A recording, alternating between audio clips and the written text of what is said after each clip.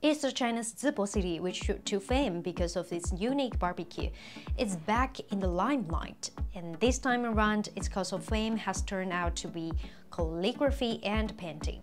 Despite lacking prominent tourist attractions, Zibo has managed to generate global interest in a short span of time.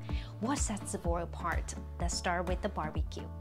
Tourists are treated to a mouth-watering feast of small pancakes, spring onions, and unique semi-self-service experience.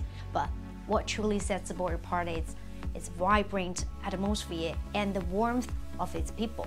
In the first quarter of this year, Zibo, with a population of 4.7 million, received an astonishing 11.8 million visits. The government's proactive approach played a significant role in this, thanks to the government's proactive measures such as barbecue trains and a strong focus on the service quality. Zibo has become a hotspot for travelers. Beyond culinary delights, Zibo now offers artistic pleasures.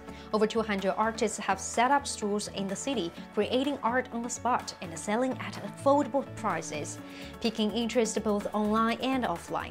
One of the largest e-commerce apps in China for second-hand items witnessed a surge in demand for Zibo's cultural products.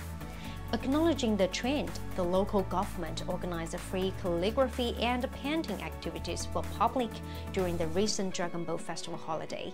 From savory barbecue to captivating calligraphy and painting, Zibo caters to both physical and spiritual needs. With hospitable locals and a responsive government, Zibo is leaving a lasting impression on tourists. Have you ever been there before? Share your experience with us in the comments.